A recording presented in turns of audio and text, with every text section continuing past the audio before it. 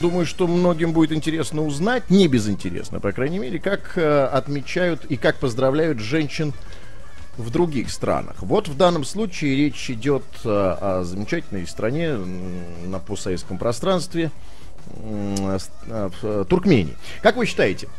Извините, я немножко тут просто тут запутался в самой новости. Значит, а, как вы считаете, господин Кремов, как э, президент э, Туркменистана поздравит женщин на 8 марта? Ну, слушайте, ну, я думаю, он как-то особым образом подготовился. Думаю, как-то серьезно. Может, будет какой-то большой праздник, там, знаете, народные гуляния, он станцует, там, яблочко, там, или там танец станцует им, прочитает им, не знаю, какие-то поздравительные речи, там, не знаю, подарит им ну, овец, коней, ну, а, ковры.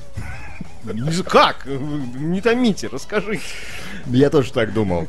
Нет, э, увы, поскромнее, но тем не менее. Значит, э, по 14 долларов, вот этих самых знаменитых э, туркменских долларов, получат женщины Туркменистана к Что же 8 марта. Вашингтоном в тюбетейке? Это пририсовано от руки И с президента. цветами на просвет. Знаете, так, если посмотрите 100 долларов к свету, там цветочки, кра- красивый тортик. А что мешает Туркмении их напечатать? Ничего, проблем нет. Так вот, денежные подарки вручат представительницам прекрасного пола, независимо от возраста и места работы.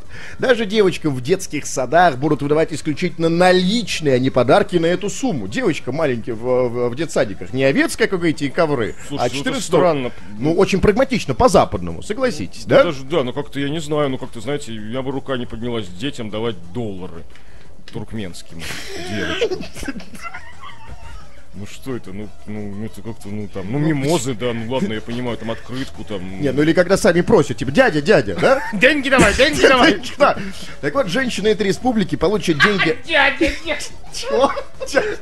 Просто представил себе, да, площадь трех вокзалов, да, было такое. Было? Как Подбегает, да. Да тысячу раз было. И, заметьте, совсем не в 8 марта.